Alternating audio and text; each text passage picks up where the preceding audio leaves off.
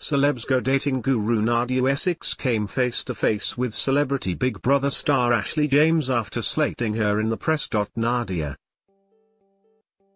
36, had called Ashley vile on celebrity Big Brother's Big Mouth after later revealing the blonde shoved her at a party.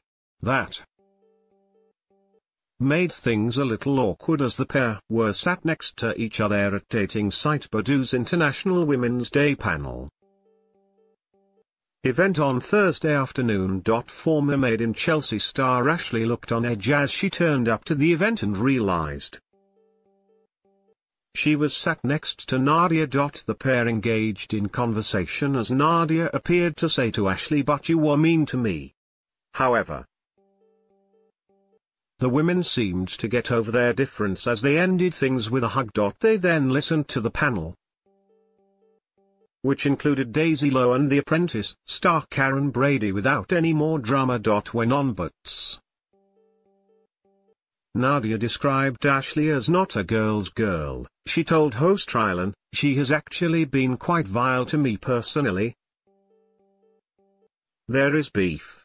Nadia later revealed to The Sun that Ashley had rebuffed her at a party. The star said, She's always been snooty with me. If I go over she turns her back and talks to other people. She has always just been cold.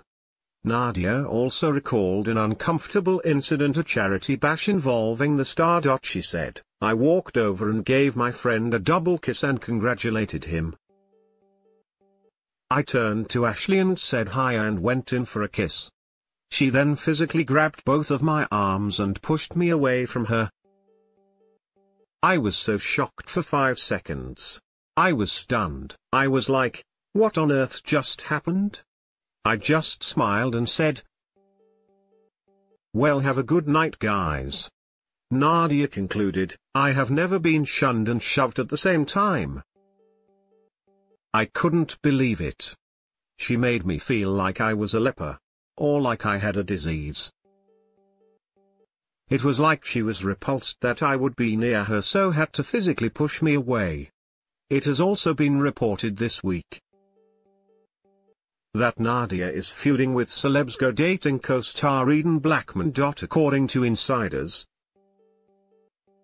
it's feared the show may not be commissioned for a fifth series if the pair don't make up.